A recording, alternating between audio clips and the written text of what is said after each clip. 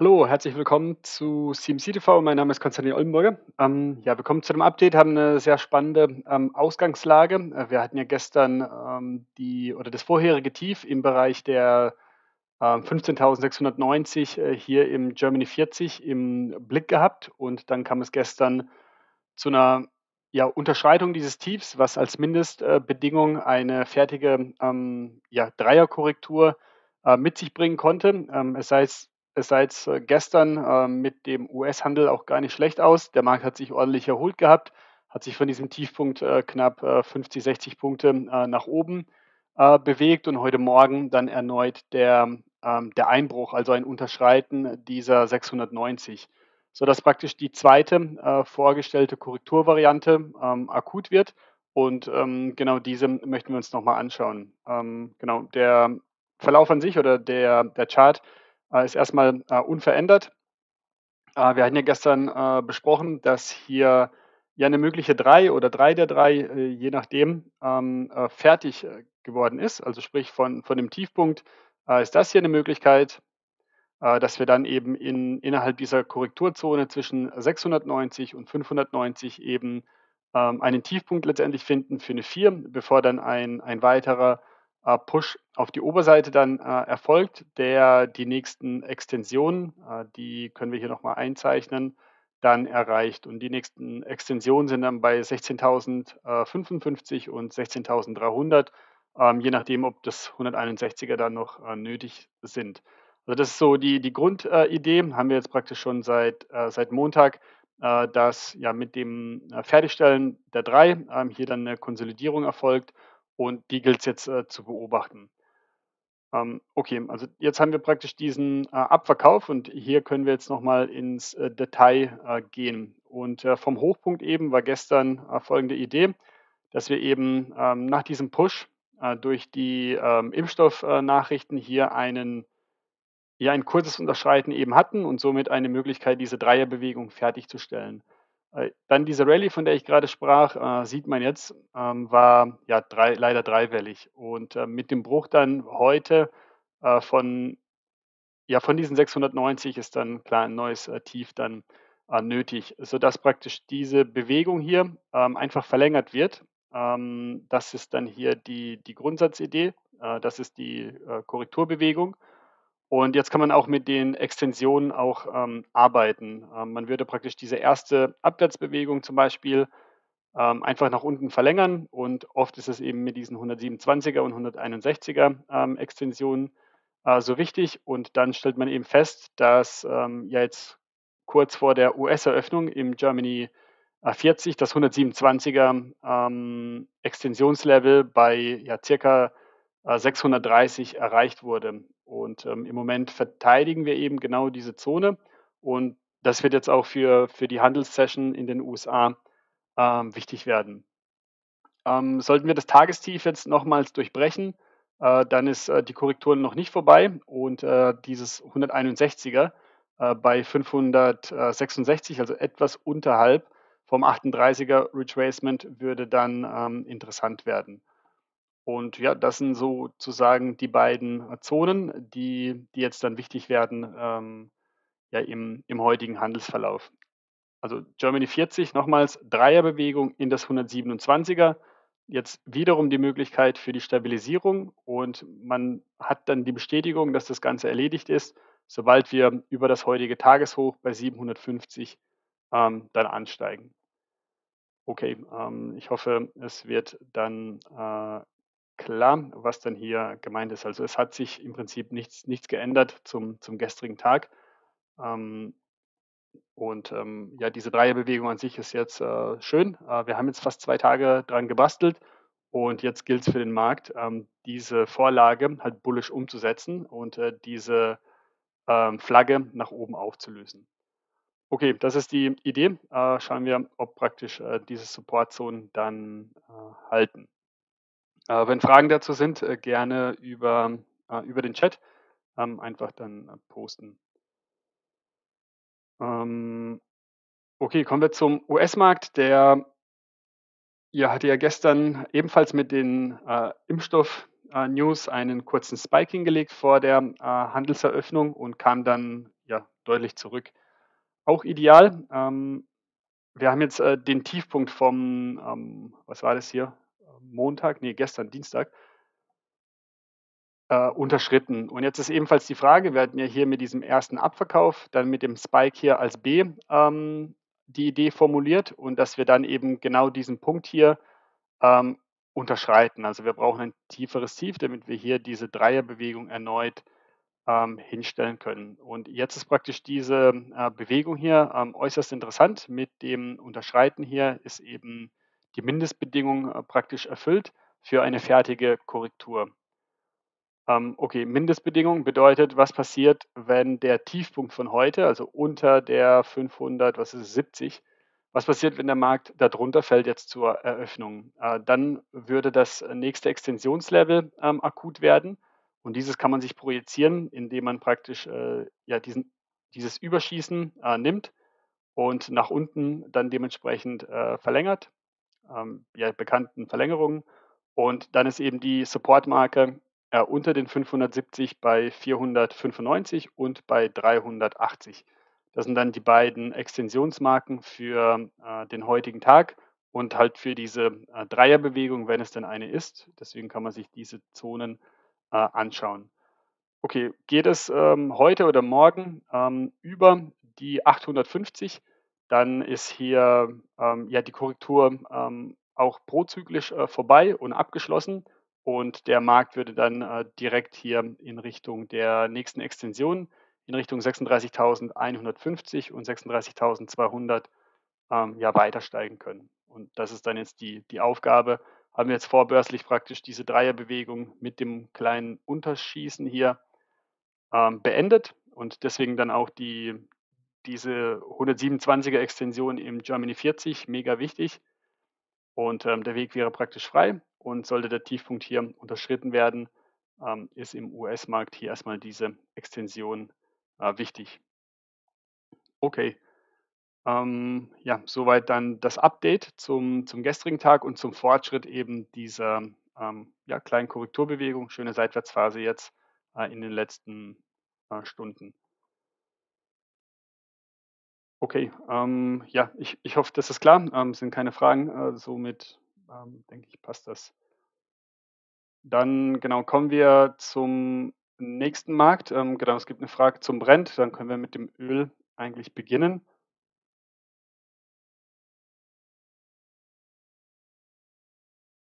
Und hier ist die Frage, ähm, ein mögliches EDT äh, mit Ziel 100.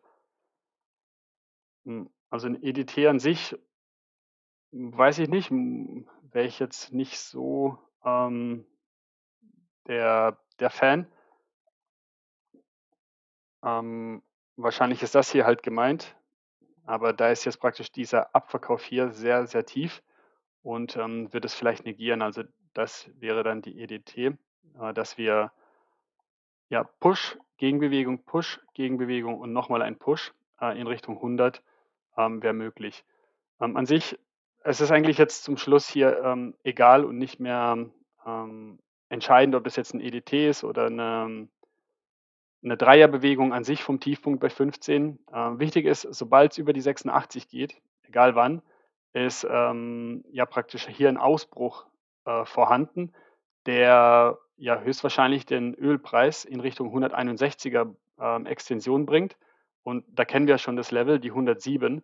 Und ähm, das ist dann der, der Zielpunkt für ja, einen wahren Öl-Rush äh, und äh, sehr äh, teure Benzinkosten dann in den Monaten, wenn das äh, passiert.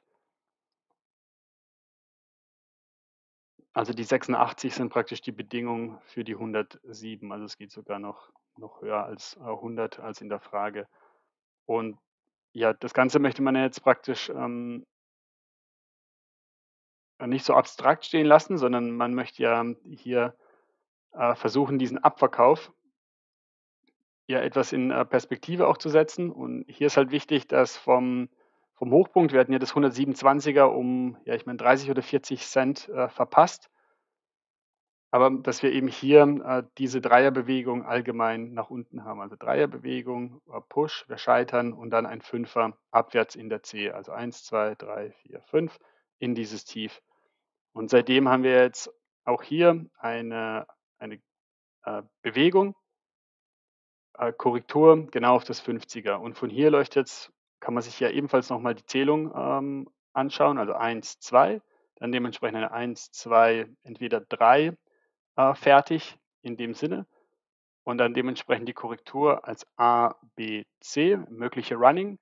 Und dann dementsprechend ein nächster Push jetzt, der die 77,50 rausnimmt und dann hier in den Widerstand bei 82 eben ansteigt. Und die Korrektur, die würde man dann im zum Beispiel 5-Minuten-Chart, ähm, das hier ist ja dann interessant, dass man hier diese Dreierbewegung hat als A, nochmal Fehlausbruch, also A, B, C für B und dann eben hier dieser Running, äh, das, der Tiefpunkt der A wird nicht unterschritten und ähm, ja, dann kann man gegen, diese, gegen dieses heutige Tief eben äh, handeln, ist eine Option.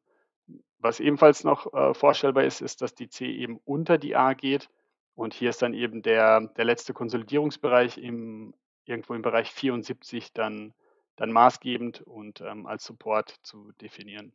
Also entweder eine tiefe äh, zweite Bewegung oder eben als Run Running. Wir haben eine gewisse Überraschung, äh, wird auch Sinn machen mit dem Überschießen der B und dann geht die Post eben ab und ein neues Hoch ist dann ähm, ja, das nächste, was auf der Agenda stehen würde. Okay, das dann im, im kurzfristigen äh, Fenster. Und genau diese Bodenbildung oder Stabilisierung ist dann aktuell durch dieses Zwischentief bei 69 äh, praktisch zu kontrollieren. Und solange dieses Zwischentief hält, ähm, wäre der Aufwärtstrend dann weiter möglich.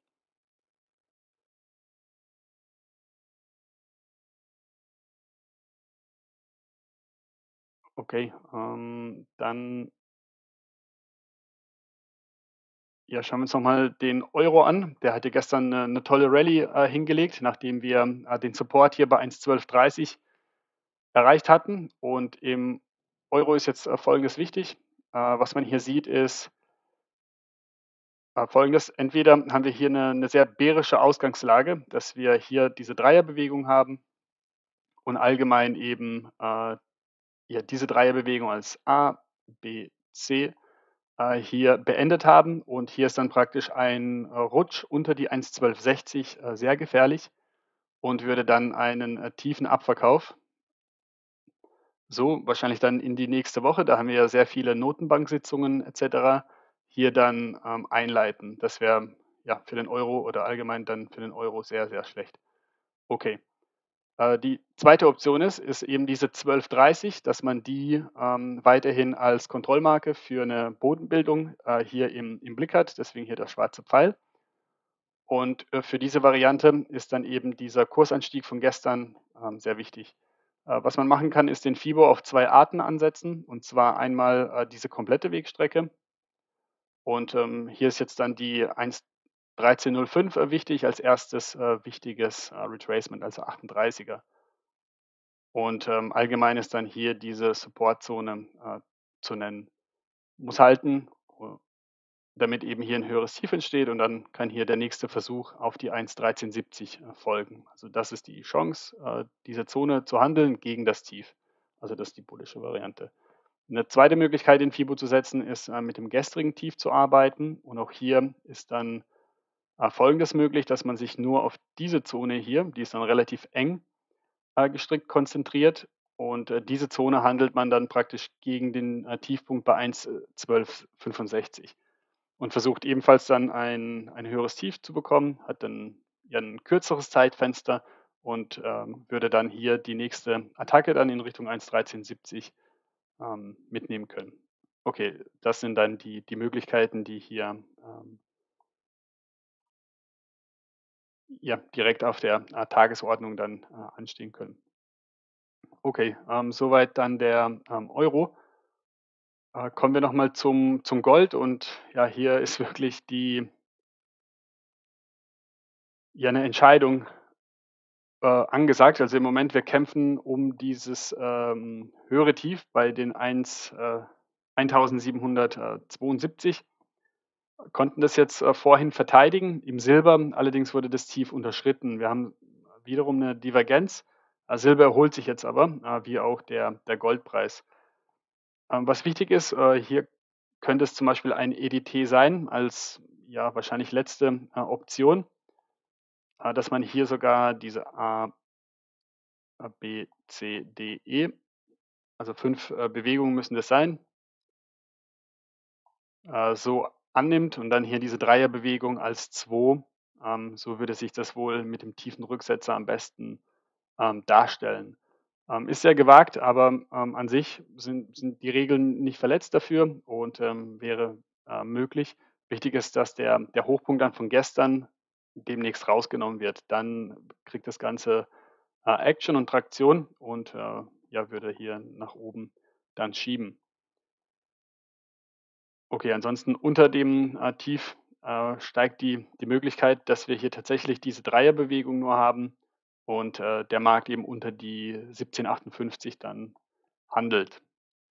Ähm, an sich im Gold ähm, sehr, sehr träge. Ähm, da da bringt es wahrscheinlich mehr, ähm, einfach abzuwarten, bis sich hier die, die Richtung ergibt.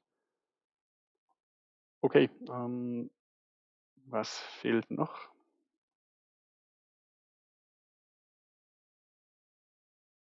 Okay, eigentlich haben wir es soweit alles. Wenn Fragen sind zu Werten an sich, gerne über den Chat nochmal. Ich schaue nochmal auf die Winners und Losers. Vielleicht fällt da ein Wert.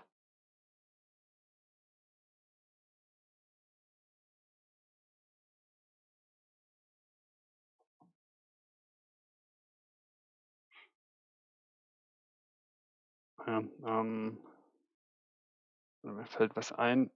Da ist die Plug Power, also Wasserstoff. Ähm, warum? Und zwar äh, folgende Situation. Also der, das große Bild hatten wir jetzt äh, immer mal wieder äh, besprochen. Wir hatten hier praktisch den, den Retest äh, des Dezember-Tiefs äh, erfolgreich äh, bestritten. Was sich jetzt dann hier ergeben hat in der Plug, war eine Rallye, eine Gegenbewegung und eine zweite Rallye. Und genau diese Kombi ist äh, erstens erstmal gefährlich, und zwar, wenn das so hier praktisch wirkt. Äh, wir scheitern in dem Falle am, am Retracement von dieser Gegenbewegung. Und das war genau das äh, 50er Retracement hier. Und das ist äh, super bärisch äh, und würde die Plug Power ähm, ja nochmals deutlich runter oder tiefer bringen, sobald praktisch dieses Zwischentief, also diese B-Tief, hier bei 23 nach unten geknackt wird.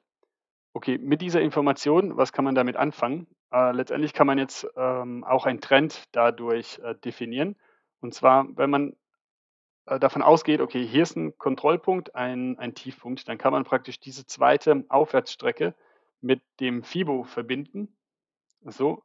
Und hier jetzt ein bullisches Retracement für sich holen. Und dann sieht man, okay, ähm, dieses Tief äh, letzte Woche hat genau das 61er erreicht, somit ein äh, Traders Dream gegen äh, den Tiefpunkt hier. Und äh, sobald praktisch jetzt der, ja, die 38 überwunden werden oder äh, hier dieses alte Hoch und dann wäre hier der Weg frei in Richtung 46 und könnte dann den nächsten Ausbruch bringen in einer Welle 3.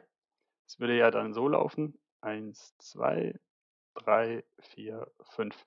Und eben die Attacke in Richtung 74 wäre dann möglich. Und das Ganze eben mit der, ähm, ja, mit der klaren Kontrollmarke hier auf diesem Zwischentief, damit man eben nicht äh, Gefahr läuft, dass hier eben eine Dreierbewegung endete und der Markt äh, mindestens auf die 18, äh, wahrscheinlich dann sogar äh, in Richtung Einstelligkeit äh, fällt. Und das ist hier dann die, die Kontrollmarke und eben der, nötig für den Trendaufbau Hochpunkt, höheres Tief, Hochpunkt, höheres Tief und dann muss es jetzt ähm, da durchgehen. Also kann man dann beobachten, ist, ist ein interessanter Wert, weil jetzt ein Highflyer letztes Jahr, dieses Jahr nicht so toll, ähm, hat sich jetzt aber hier eine Base gebastelt. Ähm, mal schauen, wie das dann auch hier weitergeht. Okay, soweit äh, der Wert. Ähm, einfach nochmal als äh, Update, hatten wir länger nicht mehr gehabt. Okay, dann ja, soll es für den Moment von mir äh, soweit gewesen sein. Vielen Dank für die Aufmerksamkeit. Ähm, ich wünsche weiterhin Good Trades, viel Erfolg und bis morgen, wenn Sie mögen, äh, 15.15 und äh, bis dahin, ade.